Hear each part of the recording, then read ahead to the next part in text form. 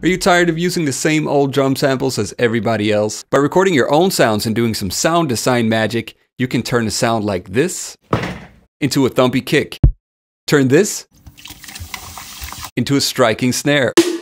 And reshape this sound into a clap.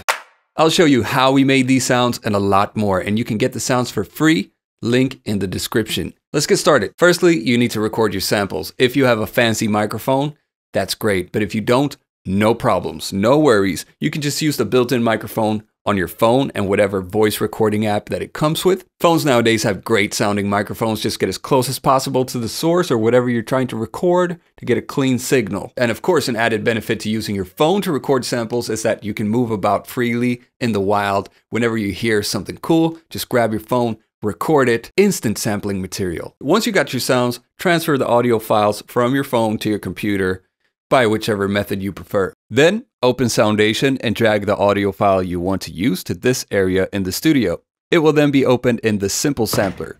We'll be using this as a sound design tool. Let's start with the kick drum. For this, you need a sound with a big impact and a lot of bass. I'll be using this sample of myself punching a chair. Adjust the start point to the start of the transient. Lower the sustain to zero and play with the decay to make it shorter or longer. Try lowering the attack to make it even snappier. You can change it to a lower octave to get more bass. Go back and fine tune the start point because small changes can give drastically different results. Create a note clip. See what note sounds the best to you. Then add that note. Make it long enough for the kick to decay properly. Now it's time to process it with some effects. First, let's add a parametric EQ to shape the tone. Turn on the spectrum analyzer to see the frequencies. You usually want the loudest frequency to be somewhere in the low bass area. If it's not, you might want to change the note. Activate the high pass filter and drag it right before the peak of the bass. This will clean up the low end, and if you adjust the Q, you can get some extra bass around the cutoff. Take some time to boost frequencies you want more of and cut frequencies that sound bad. A lot of this mid and low mid-range sounds honky and boxy. Let's cut it down with a few filters. Use the high shelf filter to either boost or cut the treble, making the kick more or less pronounced in the mix. In this case, I will cut it a little.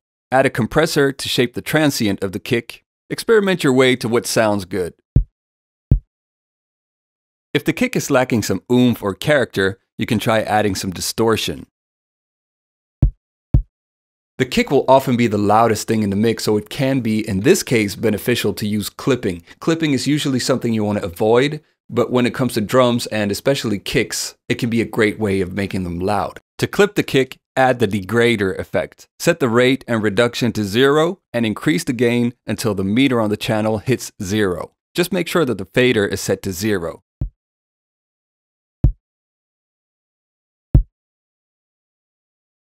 This means that the loudest peaks of the waveforms are being chopped off. This clipping is happening in the effect itself, so to leave a little headroom for later, we can lower the fader a bit. Let's hear what it sounded like without the effects. And this is with the effects. If your kick is lacking some clicky top end, you can add that separately by layering it with another sample. For this, I've chosen the sample of me sliding a vinyl record back into its sleeve. Set up the sound the same way as before, an extremely short attack and decay will give it that clicky feel. Add a high pass filter to get rid of all the low end. Add a degrader to not only clip it, but to add some top end with the rate. Now you can adjust the levels to decide how much of that click you want. This is without the click, and this is with the click. Now it's time for the snare, and for this we need a tonal body and a crisp, noisy texture. I'll use the sound of me pouring tonic water into a bowl. The water plops can give us the body and the tone, while the fizz from the carbonation can give us the noisy texture. I'll move the start to find one of the water plops. Adjust the envelope like before to make it more percussive. I'll create a note clip and try to find a good pitch for it. Add a parametric EQ. Turn on the spectrum analyzer to check the fundamental tone. The tone of the snare will typically be in the bass or low mid area, somewhere around 100 to 500 Hz. I like the sound of it in the low mid area. Let's accentuate the tone of it by boosting the fundamental frequency. And make it a bit more narrow.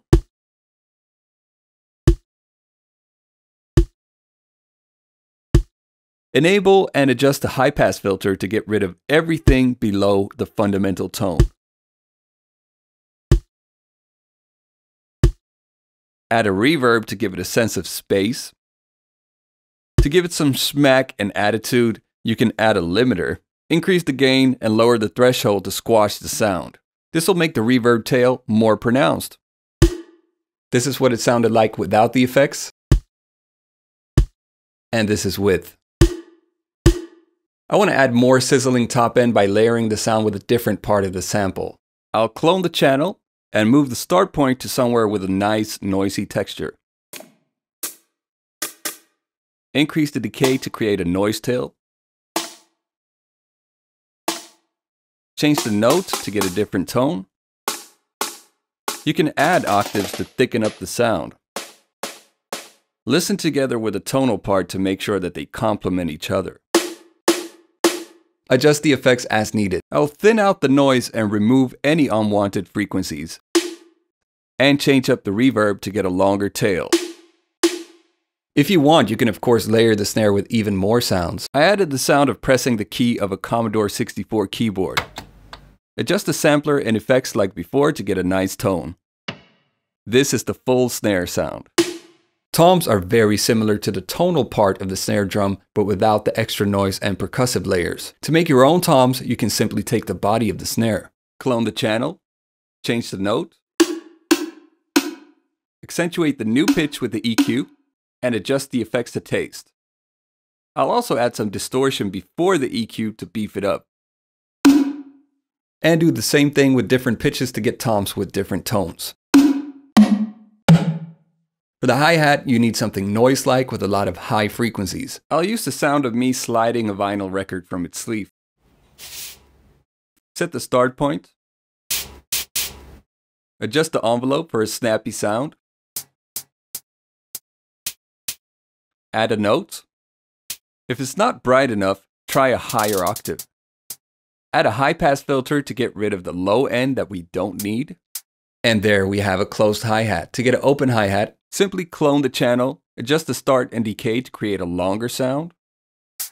And for some extra length, you can add a reverb. I'll use the same sample as the hi-hats to create a crash cymbal. Clone the channel, change the start position again. A bigger cymbal like a crash will give you a lower tone, so I'm going to lower the note. Adjust the decay to make it ring out for longer.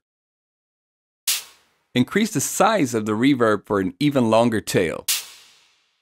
Let's also increase the width and wet, and there we have our crash cymbal. To create a ride cymbal, I'll use the sound of me scraping a paper holder.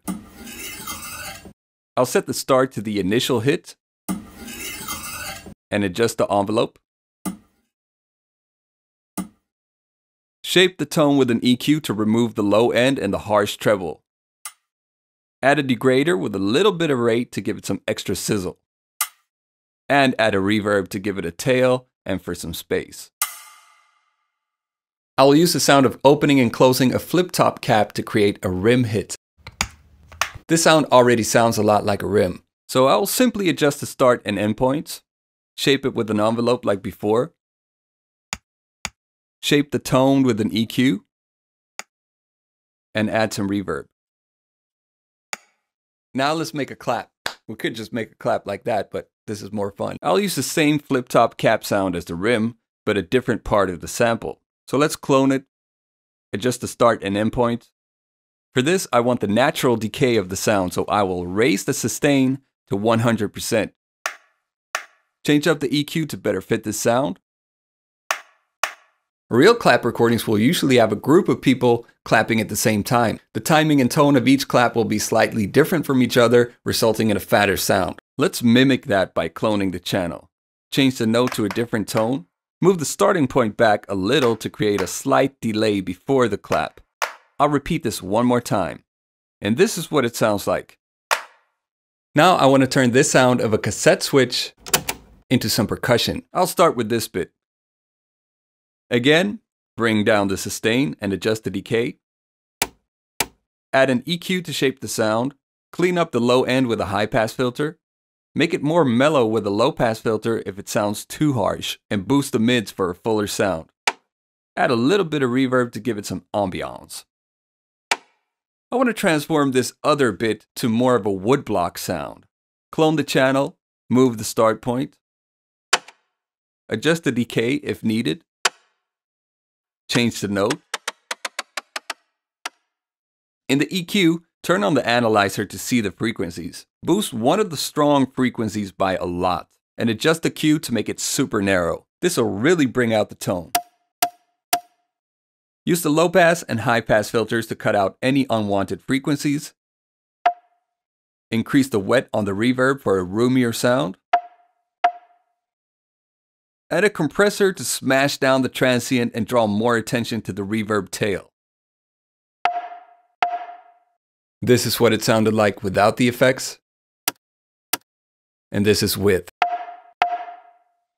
Lastly, I want to turn the sound of me slamming a fridge door into a cinematic impact. Set up the start point and envelope as usual. The decay can be a bit longer for this. To get a thicker sound, you can layer multiple notes at different octaves. Add an EQ to shape the tone of the sound. Add some distortion to beef it up and make it more in your face. Add a compressor to shape the transient to give it more punch. Instead of putting the reverb directly on this channel, we're going to do some parallel processing. Keep this channel dry, clone it, and add a reverb. Bring the wet up and the dry down. Dial in the reverb with a pretty big size. Since this is on a separate channel, we can process the reverb separately. Add an EQ and make it dark and bassy. Clone the channel once more, decrease the size of the reverb, and adjust the EQ to make it nice and bright. Now we have a long dark reverb, a shorter and brighter reverb, and if you add all the sounds together, it sounds like this. Now let's export these sounds so we can use them with the beatmaker. Solo the channels you want to export and export each sound one by one. For the sounds that are made up of layers, solo all the channels you want to be included. Set the loop region to the desired length of the export. Then go to the Export tab and hit Export. Export to WAV for the best quality. Add and set up the sounds to the beatmaker. Check out our tutorials on the beatmaker for more on its features and how to use it. Then draw in a beat pattern. As a reminder, these were the random sounds we started with. And this is the final result.